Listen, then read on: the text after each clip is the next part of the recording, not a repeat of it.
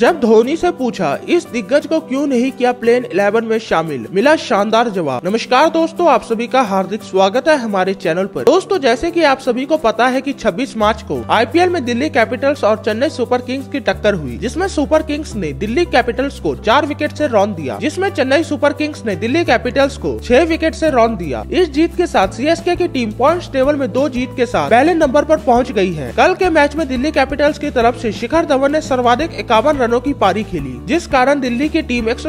run बनाने में कामयाब रही चेन्नई की ओर से डीजे ब्रावो ने सबसे अधिक तीन विकेट लिए चेन्नई की तरफ से शेन वॉटसन ने चौवालीस रन बनाए और दिल्ली द्वारा एक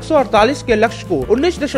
ओवर में चार विकेट खोकर हासिल कर लिया धोनी ने जब टॉस के बाद अपनी टीम के प्लेन इलेवन के बारे में कहा की हमारी टीम में कोई बदलाव नहीं है तो उनसे पूछा गया की आप शानदार फॉर्म में चल रहे खिलाड़ी फैफ ड्यू प्लेसिस को जगह क्यूँ नहीं दे रहे हो इसके जवाब देते हुए धोनी ने कहा की हमारी मजबूरी है हमारी टीम में चार से ज्यादा विदेशी खिलाड़ी नहीं खेल सकते आने वाले मौकों पर हम फैप ड्यू प्लेसेस को शामिल करेंगे अभी समय बाकी है दोस्तों अगर आपको हमारी यह जानकारी पसंद आई तो कमेंट करके हमें जरूर बताएं और हमारे इस वीडियो को लाइक और शेयर जरूर कीजिए और आगे भी ऐसी खबरें देखने के लिए हमारे चैनल को सब्सक्राइब करना ना भूलें क्यूँकी हम हर रोज ऐसी खबरें आपके लिए लाते रहते हैं धन्यवाद